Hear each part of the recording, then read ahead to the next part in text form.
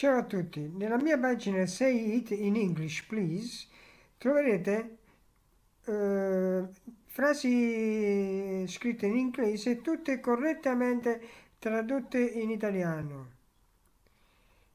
Nella traduzione in italiano tutte le volte che la parola inglese eh, viene riportata così com'è nel lessico della lingua italiana verrà evidenziata in eh, rosso.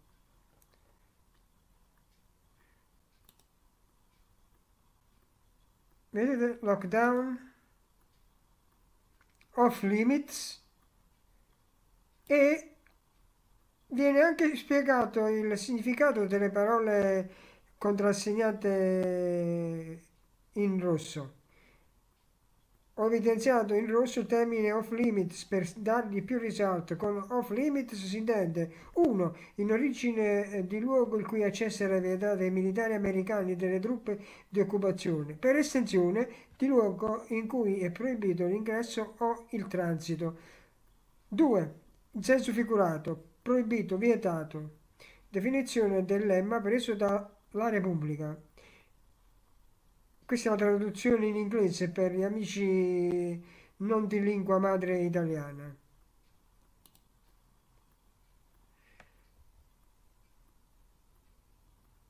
Sono pagine e pagine di frasi in inglese tradotte in italiano.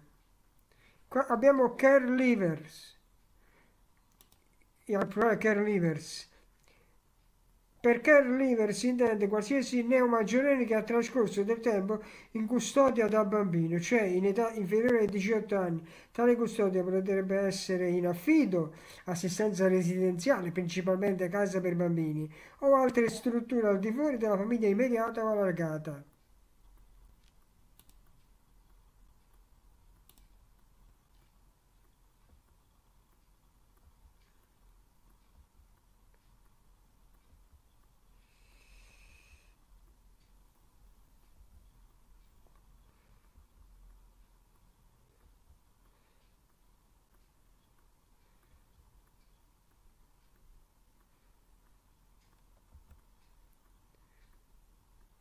Usato tre colori per distinguere meglio le, le frasi.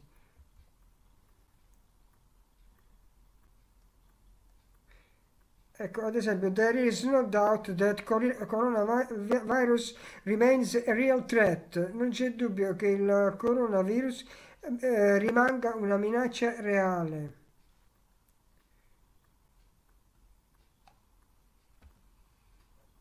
Tutte frasi di stringente attualità. In effe- infatti il materiale è costituito da frasi che ho trascritto dai notiziari della BBC.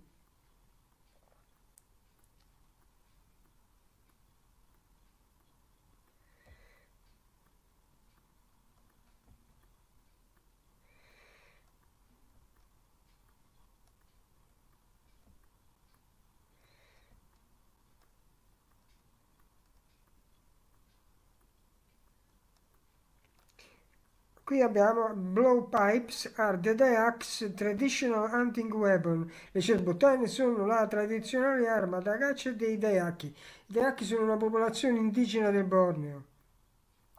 Ora, queste frasi tradotte in italiano non rimangono a sé stanti, ma io ho elaborato un programma in, scritto in uh, linguaggio Just Basic per poterle eh, usare per perfezionare l'apprendimento della lingua inglese.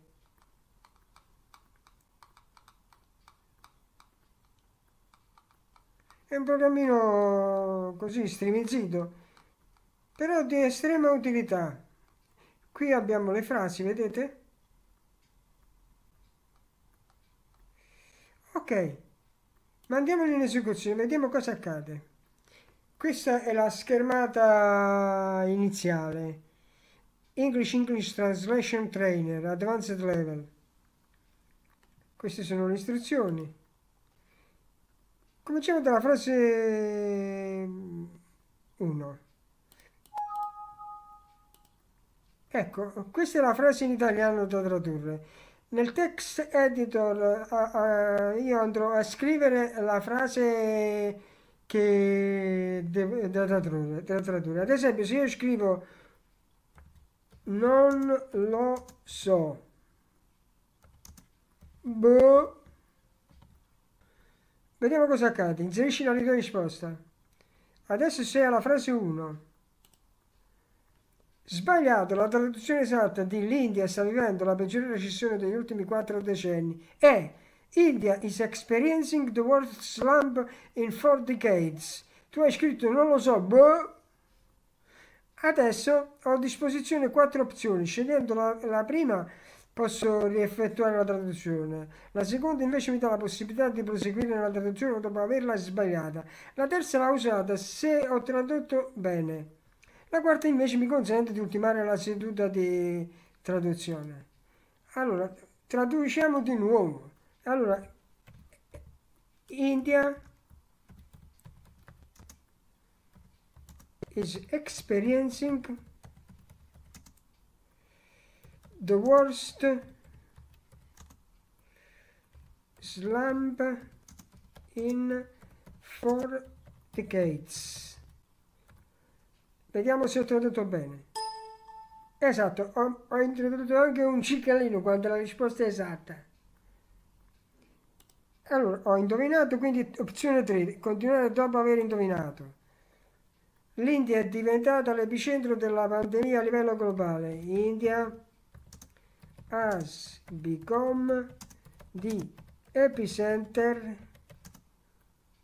for the pandemic Scritto bene?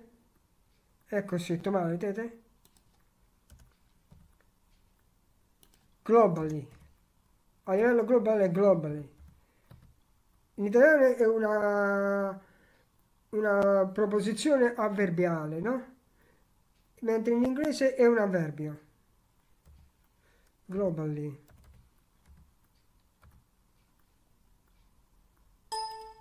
Esatto. Continuare a... Allora, prima della pandemia, before the pandemic, uh, Singapore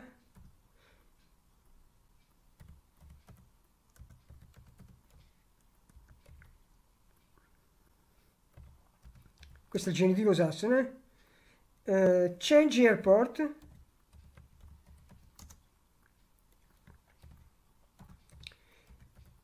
Se io ad esempio nella traduzione scrivessi airport con la lettera minuscola, mi dà l'errore, anche avendo io scritto, uh, tradotto la frase uh, perfettamente, parola per parola. Terminal. Terminal eh, brulicava di passeggeri in inglese e si usa il verbo to team with, un verbo preposizionale. Was teaming with passengers, virgola, now, l'avverbio ora è now,